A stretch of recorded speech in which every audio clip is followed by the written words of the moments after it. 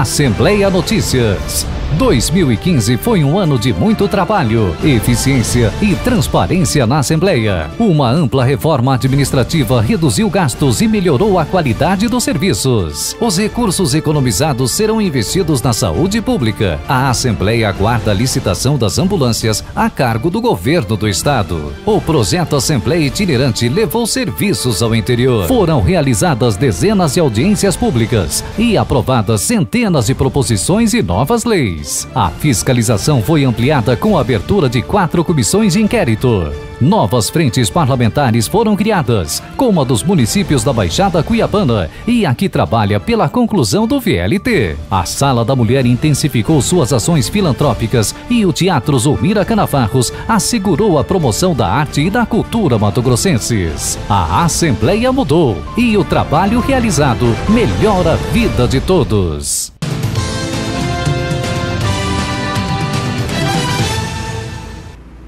De volta com a segunda parte da entrevista com o deputado estadual Vanclay Carvalho, do PV. Uh, eh, deputado, eu quero perguntar agora para o senhor acerca da segurança pública aqui no estado. Qual que é a avaliação do senhor? A avaliação minha ela é positiva. É, o governo do estado, através da Secretaria de Segurança Pública, tem tomado as decisões corretas com relação às decisões para poder dar uma diretriz é, para o trabalho nosso. Por exemplo, é, o fato é, do, do, da segurança pública, o fato é, de estar tá revertendo os recursos é, provenientes do crime para poder ser investido na própria segurança pública, isso é muito importante. Foram mais de 10 milhões de reais que foram arrecadados só no ano de 2015 e isso foi possível comprar armamento, comprar viaturas, comprar motocicletas e reestruturar o aparelho do Estado. Então eu vejo isso como inédito em Mato Grosso, que nunca aconteceu, né? então eu vejo isso como uma decisão acertada do governo do Estado. A decisão também acertada do governo do Estado com relação à questão é, de é, é, exemplificar hoje qualquer autoridade, seja da Polícia Militar, da Polícia Civil, Corpo de Bombeiro, é, que tenha alguma conduta que não condiz com a linha de trabalho correta que o governador tem, é, automaticamente essa pessoa ela é punida exemplar, exemplarmente, coisa que às vezes no passado né, demorava-se anos e a pessoa continuava no comando né, da, da instituição ou então no comando do seu batalhão. Então isso tem acontecido. É, então eu vejo que o governador ele tem trabalhado, é, tomado a decisão correta quando ele mudou de 80 milhões o orçamento da segurança pública, que era do governo passado, para 400 milhões para poder ser aplicado esse ano. Né? Então, o aumento do orçamento, isso mostra o quanto que ele está preocupado com a segurança em Mato Grosso. E especificamente, quando ele aumentou em mais de 400% o orçamento para o setor de inteligência. O setor de inteligência hoje realmente está se estruturando. Então, é claro que as mudanças elas não, elas não acontecem ah, de uma hora para outra, uma hora para outra. É, eu até vou usar um exemplo que o secretário Fábio Galindo usou, é, que a, o, a, o avanço da segurança aqui em Mato Grosso é mais ou menos como uma pessoa que pesa, que pesa 150 quilos, é, hoje está pesando 130 quilos. Mas para quem está olhando, não conseguiu enxergar ainda. Mas para quem está por lá de dentro, para quem está lá, viu o quanto que já melhorou. Então, também foi na segurança pública. Os índices, né, é, em várias frentes, né, diminuiu, inclusive o índice de homicídios também, mas ainda a sensação de segurança é, para a população é, ainda não, não conseguiu chegar. Mas assim, as decisões é, o governo está tomando correta, está tratando a segurança pública da maneira correta, então eu vejo que o governo acertou, eu vejo que avançamos nessa área também. Com relação ao secretário Galindo, a opinião do senhor? Com relação ao secretário Galindo, uma pessoa extremamente competente, de experiência frente à, à, segurança pública em outros estados e, juntamente, o ano passado, quando ele estava com, com o secretário Maruzaki, ele realizou um ótimo trabalho, então é uma decisão acertada do governador é, manter ele como secretário do Estado. E a filosofia do secretário, ele já falou o seguinte, que todos os órgãos da segurança pública têm que trabalhar juntos, por quê? Polícia Militar, Polícia Civil, Corpo de Bombeiro, Politécnico, o problema é o mesmo. Claro, cada um dentro de suas atribuições, mas a determinação é que trabalhem junto. Se for discutir vaidades, eu sou melhor do que você, coisas nesse sentido, não é o local aqui na secretaria, tem que trabalhar junto, porque o problema nós temos um inimigo em comum e nós temos que fazer o trabalho em conjunto. Deputado, qual a opinião do senhor é, a respeito dos órgãos que atuam em defesa dos direitos humanos? Pergunto porque recentemente o secretário Galindo fez uma declaração que acabou gerando muita polêmica, não é? Que dizia, ele disse que uh, os órgãos que atuam em defesa dos direitos humanos protegem mais, por vezes, o bandido do que o pai de família. Então isso gerou uma polêmica muito grande aqui no Estado, enfim, e muita insatisfação. Eh, principalmente nessas pessoas que atuam nessas áreas. Qual a opinião do senhor a respeito disso? Eu defendo os direitos humanos, eu defendo todas essas entidades que corretamente, graças a essas entidades, que a gente é, consegue avançar e que a gente consegue ter aí a sensação é, de justiça no nosso país. Coisas que infelizmente outros países não, não têm. Você acompanha hoje diariamente na, na televisão é, de, direitos das pessoas sendo realmente passado como trator em cima. Então, eu defendo os direitos humanos e defendo essas pessoas a, as instituições é, que estão à frente, né, levantando essa bandeira. Né. Com relação ao secretário Fábio Galindo, eu defendo a atuação dele enquanto secretário, né, eu vejo que está sendo muito importante para o Estado de Mato Grosso o trabalho dele e os pontos de vista que ele colocou, eu vejo que foi um ponto de vista assim, isolado e mal interpretado. Né? Então, eu vejo que é, é, a, o, o, lado positivo, o ponto positivo do secretário, no sentido é, de contribuir para a segurança é muito maior e eu acho que o que nós temos que, a discussão, nós temos que continuar focando nas estratégias para poder combater a criminalidade em Mato Grosso.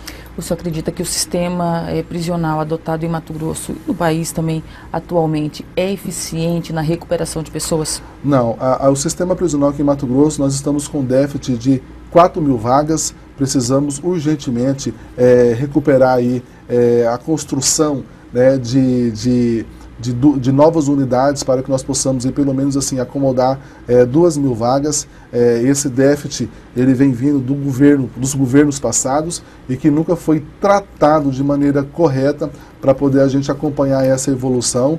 E uh, hoje a, as unidades é, prisionais que nós temos aqui hoje aqui, ela, ela dificilmente consegue fazer o trabalho de, de ressocialização.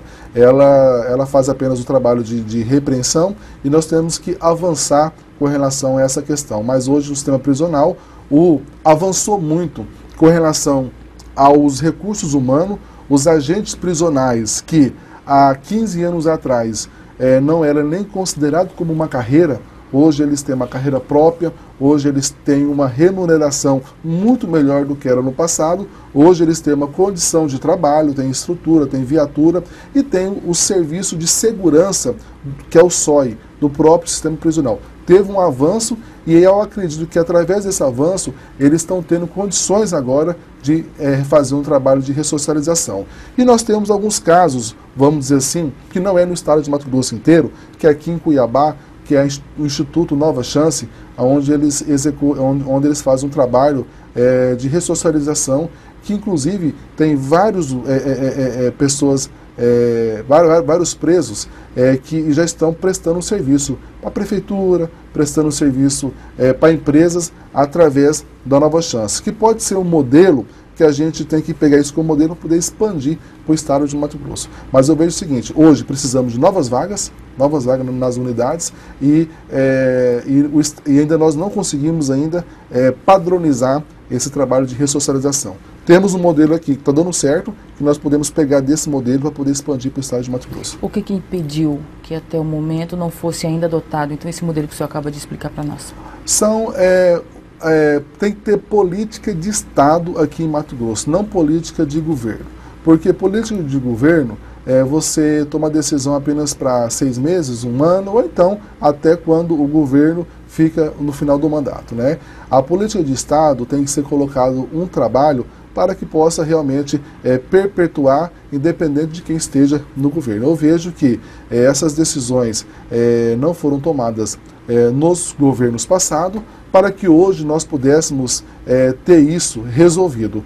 Você só, você só basta pegar o fato de nós termos é, duas unidades prisionais paradas por falta de buscar recurso, que é um, um caso aqui de Várzea Grande, que o projeto está parado, o recurso está tá segurado, mas a obra não é nem licitada. Isso foi do governo passado. Não desse governo. Desse governo é, é, já se voltou todo o trabalho para poder assegurar um recurso. Então, quando você pega um governo que não cuida nem, nem para poder é, construir uma nova unidade e nem para poder cuidar das que estão, é, realmente você vê que ele não está priorizando essa, essa ressocialização. Então é um trabalho complexo, não é fácil, mas eu vejo que o, a, o secretário Dorileu, a Secretaria de Justiça está no caminho certo com relação à questão de retomar essas obras né, e de estar, tá, e a partir de agora, claro, temos que trabalhar para poder potencializar a nova chance. Ok. O senhor é ali da cidade de Pontes Lacerda. É, como que está a questão do combate às drogas ali naquela região? Ali naquela região... Especificamente de Pontes Lacerda. De Pontes Lacerda, como ali é uma questão também de fronteira, nós temos ali é, a, delegacia, a delegacia civil do município de Pontes Lacerda, que nós temos ali um número de efetivo para poder cuidar da questão do município. Né, nós não temos condições de fazer ali um trabalho do tráfico internacional de droga, que, que volta na temática que eu coloquei da necessidade de ter uma delegacia da fronteira e também é, da Polícia Federal atuar mais ali na região. A Polícia Militar também, a demanda ali da cidade, estamos falando do município é, de 41 mil habitantes e de população flutuante passa de 50 mil habitantes. A Polícia Militar também executa o seu trabalho ali na área urbana. Né? Nós temos é, hino, sentido da fronteira, nós temos ali a, a barreira do Gefron, que também melhorou muito o trabalho da, da barreira do Gefron ali naquela região. Mas com relação a especificamente a questão da droga ali na região, a, a região toda é um grande corredor é, de droga. Então, é, às vezes, muitos crimes é, maiores não acontecem na região. Acontece, às vezes, no destino onde é que esse entorpecente chega. Aqui em Mato Grosso, Rio de Janeiro, São Paulo e em outros estados. Né? Mas ali em si, é, os índices é, de, de, de, violência está é, bem abaixo, está bem aceitável. Nós não temos ali é, um, um, grande centro consumidor e também nenhum grande centro distribuidor, é realmente apenas um corredor de entorpecente. Ainda sobre Pontes Lacerda, que ganhou destaque a nível nacional como novo Eldorado, como a nova Serra Pelada, por conta do garimpo que foi descoberto lá. Qual é a situação atual lá em Pontes Lacerda com relação a esse garimpo, deputado? Com relação ao garimpo, eu quero aqui só é, destacar, se você me permite, fazer apenas um contexto histórico da importância do minério aqui para Mato Grosso. É, Pontes Lacerda, é, o que motivou o aglomerado ali na região ali foi através do ouro, né, no contexto histórico. Cuiabá, né, todo mundo sabe que foi através do ouro. Mato Grosso é muito rico no minério. O nome Mato Grosso, a origem do nome Mato Grosso foi através do ouro. Né? Antigamente, aqui na região de Cuiabá tinha as minas, mas aqui é cerrado, aqui não tem árvores grandes, né, por conta da vegetação. E foi descoberto uma mina de ouro no córrego Galera, que fica no município de Nova Lacerda, que ali já é região da Amazônia, ou seja, as árvores são maiores. Então, descobriu-se uma mina ali e colocou assim a mina do Mato Grosso. Né? Então, como referência à vegetação da região, mina do Mato Grosso. Quando a coroa portuguesa é, colocou a Vila Bela como capital é, da capitania, aí antes, antigamente aqui era a capitania de São Paulo. Vamos colocar o nome aqui para capitania. Tinha a mina do Mato Grosso, capitania do Mato Grosso. Aí foi aí que surgiu o nome Mato Grosso. Então, para poder saber do contexto histórico, da importância desse minério aqui para o nosso estado. Então eu vejo que Mato Grosso tem um potencial de ouro muito grande ainda a ser explorado e ainda não está não está sendo explorado da maneira que deveria. O exemplo que aconteceu em Pontos da Serra, temos na região duas grandes mineradoras que já exploram ouro há anos, né, toneladas de ouro há anos, ali que nós temos ali a, a Yamana, a Poema, que são é, é, multinacionais, são holandesas que estão ali fazendo essa exploração e também nós temos que trabalhar para que o povo do Brasil, do estado de Mato Grosso, também possa ter acesso a essa riqueza também. Da maneira que ocorreu, que está ocorrendo em Pontos da Serra, é, é ilegal, eu não concordo, não pode ter da maneira sem autorização, é, é, é, agredindo o meio ambiente, agredindo o social, agredindo a saúde pública, de um, uma, uma, desordem realmente social. Daquela maneira ali, ela não pode ser explorada, tem que ser combatida e não pode acontecer. O Exército esteve ali em Pontos da Cerda, a Força Nacional esteve em Pontos da Cerda, depois de muita insistência do governo do Estado pedindo para que eles fossem lá, e mais já parte deles já voltaram e continua-se a exploração de maneira irregular. É, já estamos auxiliando várias cooperativas de pessoas do próprio estado de Mato Grosso é, para poder credenciar no DNPN o pedido de, de, de exploração e a gente tem conseguido avançar bastante já nisso. Temos ali em torno de três a quatro cooperativas que já estão com algumas áreas para poder autorizadas a fazer o projeto de exploração do minério. Aí, claro, seguindo todas as recomendações que o DNPM, DNPM exige para que possa explorar de maneira sustentável, respeitando o meio ambiente e da maneira que deve ser feito. Então, eu acredito que nos próximos meses estaremos aí é, com partes daquelas áreas ali é, tendo um plano de manejo autorizado pelo governo federal a fazer a exploração. Mas enquanto isso não acontece, infelizmente, a exploração de maneira ilegal é, continua acontecendo. No caso dessas mineradoras que o senhor citou agora para nós, elas trouxeram algum avanço para Pontes e Lacerda? Elas estão ali no município há quanto tempo, por exemplo? Eu vejo que não trouxe nenhum avanço, nem para Lacerda, nem para Vila Bela, nem para Conquista, nem para Nova Lacerda, trouxe apenas degradação só. O que colocou foi apenas alguns empregos, que foi importante, né, os empregos, mas se colocar na balança benefício é, e malefício, no, no sentido, é, teve, foi mais negativo né, do que positivo. Né? porque é uma riqueza que o Estado de Mato Grosso tem e, e, não está sendo explorado pelo Estado de Mato Grosso. Diante disso, deputado, você não, você não acha que o governo do Estado, junto com a Assembleia Legislativa, deveriam ficar um pouco mais atenta a essa exploração de minérios, visto que faz parte, tem todo um contexto histórico em volta, mas também há muita degradação e há muito desrespeito com o meio ambiente e também com o trabalho das pessoas é, com, com, relação a isso? Com relação a isso aí, a gente também, é, é como não tem como a gente desrespeitar a legislação, não é possível a gente pegar a força de segurança que nós temos aqui e ir numa área que é de responsabilidade e de direito do governo federal. O problema é que o subsolo é do governo federal. O subsolo é do governo federal. O governo estadual não tem nenhuma pontinha da legislação que dá autoridade para que o governo, o governo é, é, estadual possa fazer alguma coisa é, nessa, nessa questão. E por ser uma área de autorização, de fiscalização e de responsabilidade do governo federal, a gente fica tendo uma situação um pouco delicada em poder fazer alguma coisa. O máximo que a gente pode fazer, e o que nós temos feito, é sensibilizar a nossa bancada federal, que assim tem se sensibilizado para poder estar tá se posicionando frente ao governo federal com relação a essa riqueza que nós temos aqui. Então, o que está ao nosso alcance, nós estamos fa fa fazendo, que é fazer a cobrança do governo federal para que possa realmente autorizar mais empresas de Mato Grosso e cooperativas de Mato Grosso a ter acesso a essa, a essa, exploração do que, às vezes, muitas empresas multinacionais. Eu não estou aqui fazendo um discurso contra as empresas multinacionais. Precisamos delas sim, temos outros minérios, temos o ferro, o fosfato, temos outras aí que eles podem vir é, fazer a exploração. Mas eu acho que tem que ter aí uma divisão dessa riqueza que nós temos aqui. As pessoas de Mato Grosso também têm que ter o direito de fazer essa exploração. Então é isso aí que eu quero destacar e também que Mato Grosso é muito rico em minério ainda. Nós não exploramos ainda a questão do ouro, eu falo que na, na região não foi ainda nem nem, nem, nem 10% do que nós temos ali. Né? Então, é, enquanto isso, é, a gente fica é, é, é trabalhando, é, é, uma das vocações da questão da, do desenvolvimento econômico, enquanto isso, às vezes, alguma dessas riquezas saem entre os nossos dedos. Lá em Pontes Lacerda foi criada uma comissão especificamente para tratar desse, desse assunto uh, do garimpo. O senhor tem ciência dessa comissão ou faz parte dela? A comissão é, que eu, a que eu faço parte, a que eu participei, ela, ela envolve o prefeito municipal, envolve representantes da Câmara, aqui da Assembleia. Criamos uma comissão especial para poder acompanhar a questão do garimpo e também é, a Metamate, aqui que é o órgão é, que cuida de minérios aqui em Mato Grosso. Nós tivemos é, em Brasília, juntamente com o ministro de Minas e Energia e também com a bancada federal, tratando desse assunto em novembro do ano passado.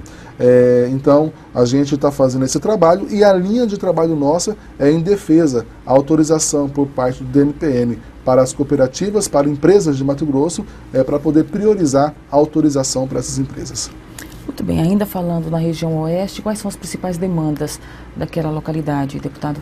A região oeste de Mato Grosso, que é a região que teve a primeira capital de Mato Grosso, Vila Bela da Santíssima Trindade, é uma região que, no contexto é, de longevidade com relação ao nível do estado de Mato Grosso, é, pela lógica, é, poderia ser a região mais desenvolvida de Mato Grosso. Né? Mas a realidade que a gente é, se depara hoje ali não é.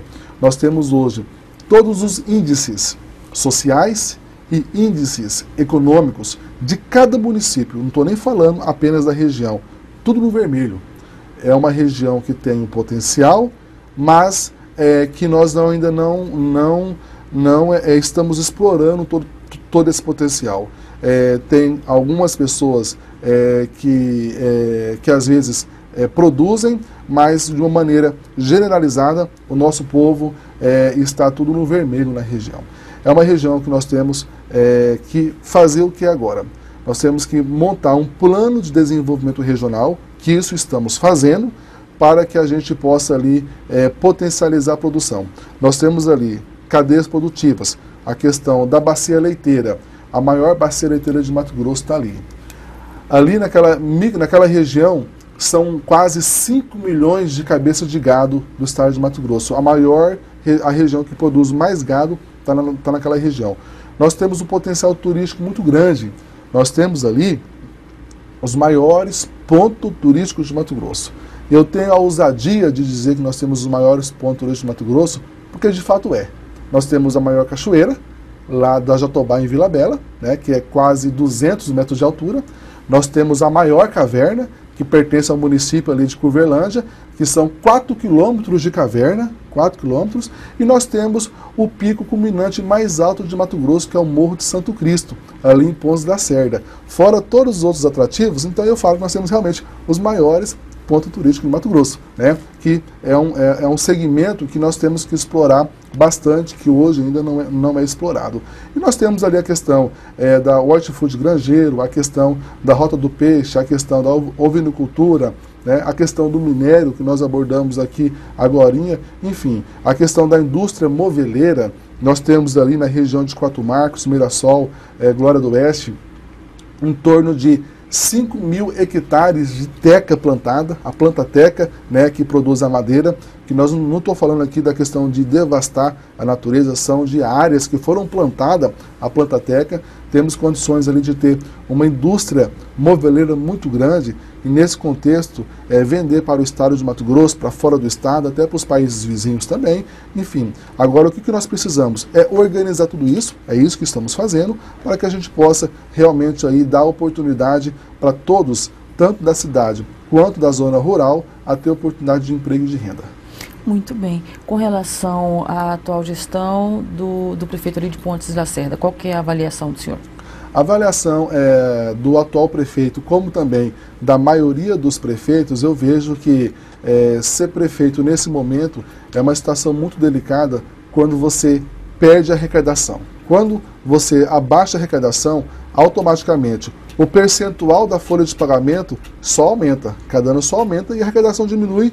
Então é difícil é, de qualquer prefeito hoje das cidades menores conseguir fazer aquilo que ele gostaria de fazer enquanto ele prometeu em campanha. Né? Então eu vejo que o prefeito tem é, se esforçado, ele tem trabalhado, ele tem buscado resolver os problemas é, do município, mas diante da situação econômica mesmo que vivemos, às vezes ele fica limitado de mão atada. Mas eu vejo que é um homem sério, é um homem que está trabalhando, está buscando resolver e ajudar o município. Esse ano nós vamos ter eleições, eu vou perguntar então das ações do PV e da movimentação com relação a, ao pleito desse ano.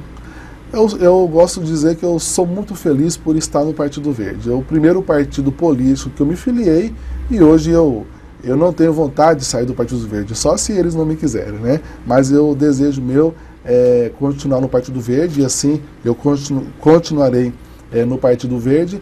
E o Partido Verde ele cresce de maneira planejada, organizada, sob o comando de nosso presidente é, Estopa, a presidente regional do Partido Verde, e assim a gente tem passo a passo é, trabalhando, conseguiu espaço nosso aqui em Mato Grosso.